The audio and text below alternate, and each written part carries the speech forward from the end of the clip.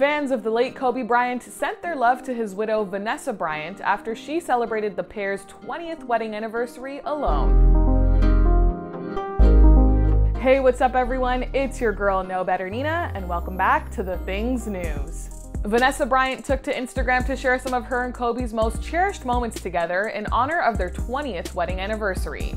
One of the posts Vanessa shared was actually from her and Kobe's wedding, which she captioned, Happy anniversary, baby. I love you 20 years. Vanessa also shared the many floral arrangements she received from friends of the family supporting her on this difficult day. Despite turning her Instagram comments off, fans still shared an outpouring of love and support for Vanessa across social media, expressing how strong she is, how happy they are to know she has a genuine support system, and mourning the untimely loss of NBA legend Kobe Bryant. I'm your host, No Better Nina, and be sure to head over to thethings.com for the full story and more on celebrity and entertainment news. Thanks for watching, and I'll see you later.